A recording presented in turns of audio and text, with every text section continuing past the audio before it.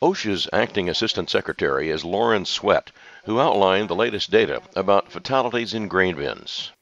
According to the latest data available from Purdue University, there were 23 documented grain engulfment incidents in 2017 that resulted in 11 fatalities. Suffocation is the leading cause of death in grain storage bins. A matter of seconds is all it takes for flowing grain to engulf and trap a worker. Based on the average flow rate for grain, a six foot tall worker can be covered in just 11 seconds.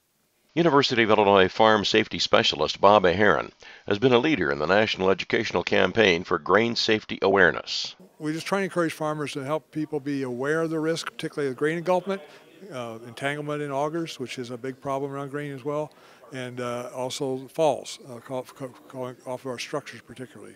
As an academic, what sort of a grade would you give farmers about their awareness of grain bin safety and about their practice of grain bin safety? Well, you put them both together. I think awareness may be a, a, a B, but practice is probably more of a C, unfortunately, because we see too many farmers relying on their past experience of going in bins, climbing over augers with their unguarded, and they do that because they've gotten by. That's our report from the farm on Grain Safety Week. This is Stu Ellis with WCIA 3, your local news leader.